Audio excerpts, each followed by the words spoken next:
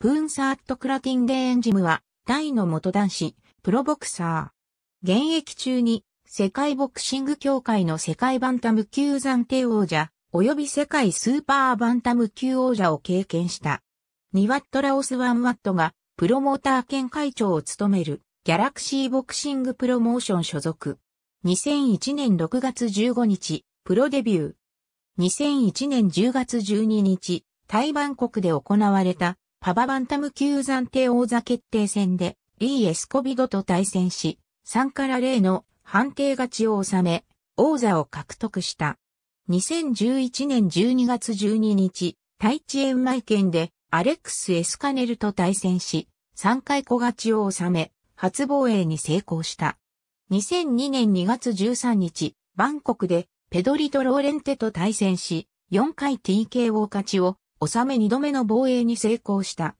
2002年2月、サオヒン知りたい近藤の王座返上に伴い空位となっていた正規王座に認定されパババンタム級正規王者となった。2003年8月29日、WBA フェデラテンバンタム級王者モイゼス、カストロと高音県県で対戦し、9回小勝ちを収め、馬場王座の10度目の防衛に成功。WBA フェデラテン王座の獲得に成功した。2004年4月、WBA フェデラテンバンタム級王座を返上。2005年5月24日、ホエルバウヤと対戦し、馬場王座17度目の防衛に成功した。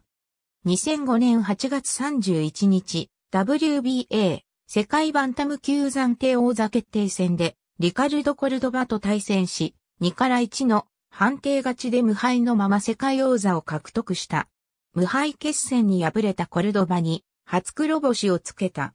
2005年12月22日、レオガメスと対戦し、3から0の判定勝ちで初防衛に成功。ガメスの5階級制覇を阻止した。この試合でガメスは引退することになった。2006年7月15日、カラーラインアレーナで WBA 世界バンタム級正規王者、ウラジミール指導連呼と王座統一戦で対戦し、プロ初黒星となる0から3の判定負けを喫し王座統一に失敗、暫定王座から陥落するとともに、プーンサートが約11ヶ月保持してきた暫定王座は正規王座に吸収される形で消滅した。2006年9月8日、ジョナタン・バートとパバスーパーバンタム級王座決定戦で対戦し、2回2分5秒小勝ちを収めパバ2階級制覇を果たすと共に再起に成功した。2006年12月19日、元東洋太平洋、ボクシング連盟東洋太平洋、スーパーバンタム級王者で、パバ同級暫定王者、ペドリト・ローレンテとの4年ぶりの再戦が、王座統一戦となり、2回2分34秒小勝ちを収め、王座の統一に成功、初防衛に成功した。2008年3月31日、WBA 世界スーパーバンタム級王座挑戦者決定戦でソムサックシンチャチャワンと対戦し、11回 TKO 勝ちで指名挑戦権を獲得した。2009年4月30日、WBA 世界スーパーバンタム級暫定王座決定戦で、ラファエル・エルナンデスと対戦し、9回 TKO 勝ちで、暫定王座を獲得し、2階級制覇を達成した。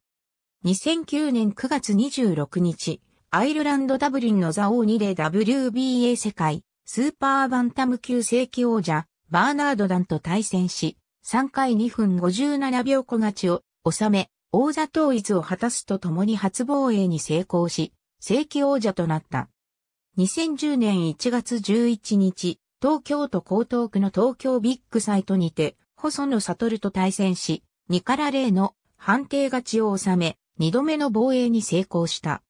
2010年5月20日、タイマハーサーラカーム県ボーラブー郡のボーラブー学校にて、木村昌司と対戦し、4回2分23秒小勝ちを収め、3度目の防衛に成功した。2010年10月2日、東京都文京区の後楽園ホールにて、WBA14 位の李清志と対戦し、0から3の判定負けを喫し4度目の防衛に失敗、王座から陥落した。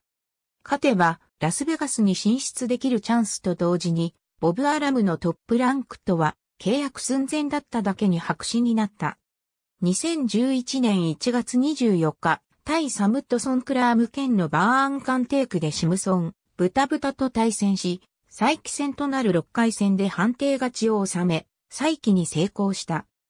2011年4月19日、台湾国のクルンテープトンブリ大学で、エリック・バルセロナ突破馬スーパーバンタム級、スーパー王座決定戦を行い、6回にバルセロナの顎の負傷が試合続行不可能と判断され、3から0の負傷判定勝ちで王座獲得に成功した。プーンサワットは2年ぶりのパバ王座での体感でスーパー王者となった。2011年8月9日、タイチャイナート県サッパヤー郡ポーピタック村でモハメド・マトゥーレと対戦し、4回1分20秒、TKO 勝ちを収め、初防衛に成功した。2012年3月5日、タイチェーンマイ県の700年記念競技場で、ジロメルリンと対戦し、9回1分49秒、TKO 勝ちを収め、2度目の防衛に成功した。2012年6月5日、タイアユタヤ県のアユタヤパークでどんどん、ヒメネアと対戦し、5回1分37秒小勝ちを収め、3度目の防衛に成功した。2012年9月18日、バンコクのクルンテープトンブリ大学でダニーロ・ペーニャと対戦し、3から0の判定勝ちを収め、4度目の防衛に成功した。2012年11月、パバスーパーバンタム級、スーパー王座を返上。2012年12月13日、同月15日にアメリカ合衆国テキサス州ヒューストンのトヨタセンターで WBA 世界スーパーバンタム級王者ギレルモ・リゴンドーと対戦予定だったが、試合2日前の予備検診で行われた血液検査で HIV の陽性反応があったため、テキサス州コミッションがプーンサワットのライセンス発行を拒否し、自身のアメリカデビュー戦になるはずだった試合は中止になった。彼の妻のウアンカーン・ウドンナさんは血液が逆流する病気と貧血症が影響し、検査でアウトになった。と主張し HIV 感染を否定。その主張通り彼が患っていたのは、サラセミアという血液の病気で、HIV の陽性反応は誤報であったのだが、翌14日に彼は32歳の若さでリングを去る決意をした。年が明けて2013年を迎えて、プーンサートはサラセミアを患っていたとメディアによる訂正記事の掲載がなされた。タイからのニュースによれば、サラセミアとの戦いの中で HIV の陽性反応が出て、リゴンドー戦が中止になったことを機に、プーンサーットが引退を表明したとのこと。ありがとうございます。